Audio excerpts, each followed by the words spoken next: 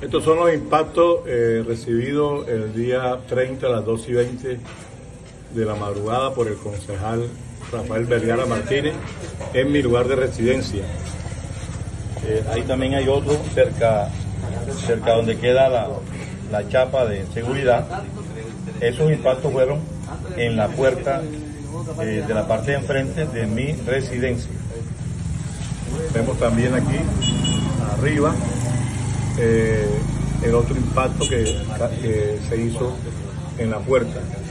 En la pared no quedaron rasguños alguno.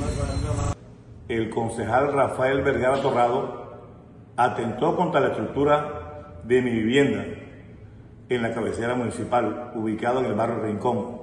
Llegó con una pistola haciendo tiros a la estructura de la vivienda eh, atentando contra la tranquilidad mía, la de mi esposa, la de mi nieta que está ahí en la casa también y el jefe de seguridad.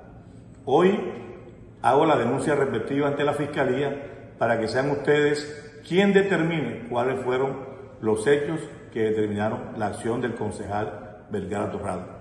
Y lo más triste es que también iba acompañado de Luis Miguel Torrado, el cual funge como jefe de presupuesto municipal jefe de control interno municipal. Así que eso se presentó esta mañana en la madrugada, el hecho macabro de parte del concejal es una tentativa de homicidio contra mi integridad en calidad de alcalde. Muchas gracias.